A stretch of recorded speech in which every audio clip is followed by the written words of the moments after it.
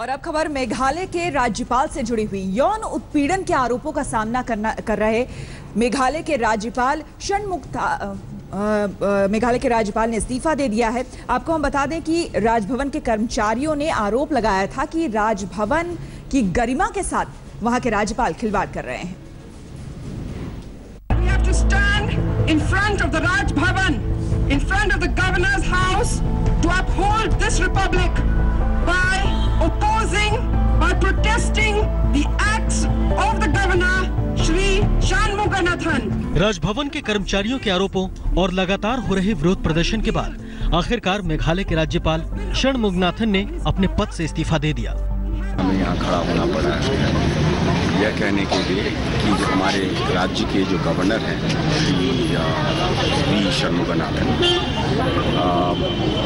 पिछले कुछ दिनों में अखबारों में उनके खिलाफ महिलाओं की बेजती करने का का समाचार छपा।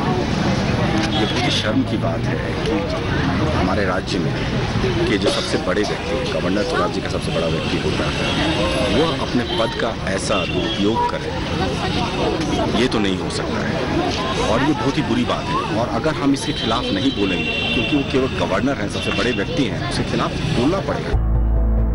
आपको बता दें कि राजभवन के करीब 100 कर्मचारियों ने राष्ट्रपति प्रणब मुखर्जी, प्रधानमंत्री नरेंद्र मोदी और केंद्रीय गृह मंत्री राजनाथ सिंह को पत्र लिखकर राज्यपाल को हटाने और राजभवन की गरिमा बहाल करने की मांग की थी।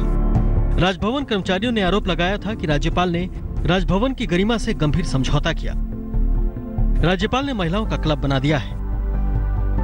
राज्यपाल के आदेश से महिलाएँ अपनी मर्ज़ी से आती जाती हैं। आपको बता दें कि मुगनाथन को मई 2015 में मेघालय का राज्यपाल बनाया गया था। पिछले साल नवंबर में जेपी राजखोवा की जगह षणमुगनाथन को अरुणाचल प्रदेश का अतिरिक्त प्रभार भी सौंपा गया था। षणमुगनाथन को हटाने के लिए महिला कार्यकर्ता लगातार हस्ताक्षर अभियान के ज़रिए प्रदर्शन कर रही थी। We're also starting a signature campaign of citizens, uh, and this letter we will be sending to the President of India to intervene to ensure that this man is immediately removed.